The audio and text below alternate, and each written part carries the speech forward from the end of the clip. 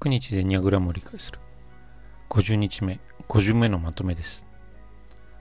高難合わせ持つ、まあ現代っ子らしいタイプ1の神田伯山さん。タイプ1。人間国宝なんですけど、全く選ぶらない神田勝利師匠。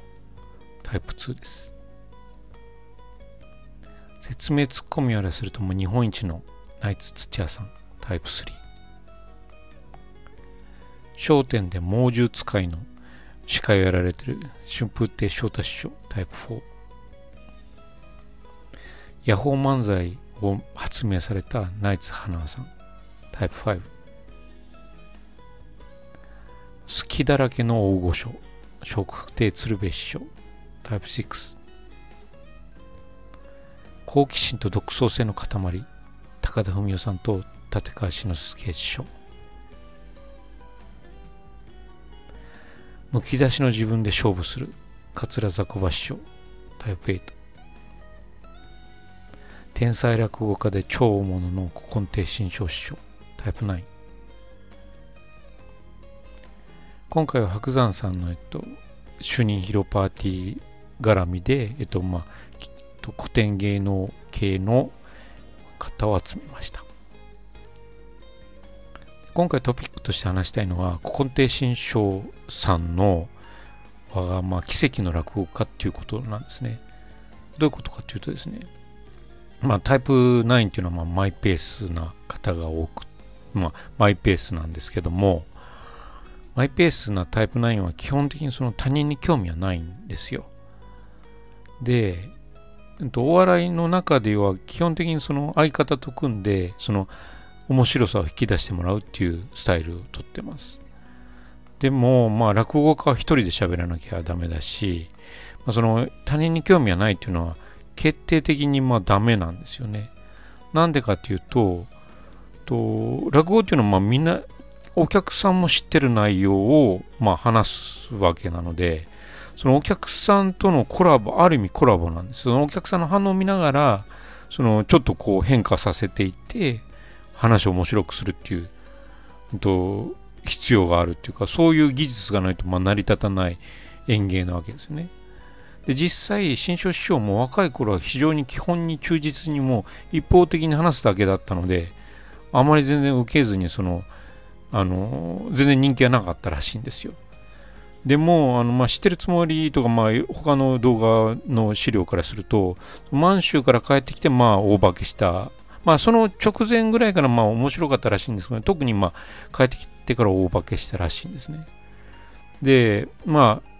仮説なんですけども、満州から帰ってきて、まあ、何かがあって、お客さんと一体化できるようになったんじゃないかというのは一つの仮説です。で、まあ、証言その1、ビートたけしさんの証言があって、えっと、新章さんのすごいところはこの絶妙の間だという話で、まあ、漫才の間も重要だけども、まあ、落語の間ももちろん重要で、で、新庄さんがもっとすごいのは、そのお客さんの笑いの間もあるんだよねって、これを考慮に入れてっていうか、これを絶妙にあの考慮して話を進めるので、すごく受けた時はすごい時間が長くなっちゃうとかいう話をされててます。つまり、お客さんの息遣いをとか笑いの間を非常に汲み取った進行してたという証言ですよね。証言その2、えっと、これ息子さんの古今亭新潮師匠の証言なんですけども、あのー、新潮師匠が、うーんって言って、まあ、言った後で、こう、あの、ボケると枕でくすぐるっていう手法をよく取るんですが、それがすごく嫌で息子心に。父ちゃんなんでそのうーんって言っちゃうのとかいう話を聞いたら、それうーんって言うとね、客がこう前に引き寄せられてくるわかるんだと。そこでくすぐりを入れるとドカーンと受けるという返事がそういう話をしたと。でつまりお客さんのそのあの引きつける引き引き寄せられる前にこう引き寄せられるのをそう分かるという証言があるんですよね。でまあ、うがちすぎかもしれないんですけども、ある仮説があって、これ知ってるつもりで流れてた映像なんですけど、満州でその、もう、あのロシア軍も進駐してきて、もうみんな、もう明日もわからない命な状況なんですけども、最後にみんなその落語を聞きたいと言って、落語を、まあ、えっと、披露するっていうか、あの、話す、話してもらうはされる時にですね、その日本の情景っていうのがこう、あの、落語の中に出てくると、みんなその、まあ楽しい、笑うはずの落語でみんな泣くんらしいんですよ。で、もともとタイプ9ってまあ情に熱いので、このお客さんの涙を、そう、新潮師匠がこう見てですね、こう、心が動いたというか、あの、ここでお客さんと一体化できるその心持ちになれたんじゃないかと。でお客さんの息遣いがまるで自分の息遣いのようにもう一体化してると。お客さんの魂、魂、気持ちとかいうそういうやわなもんじゃなくても、魂が手に取るように分かったんじゃないかと、新庄師匠は。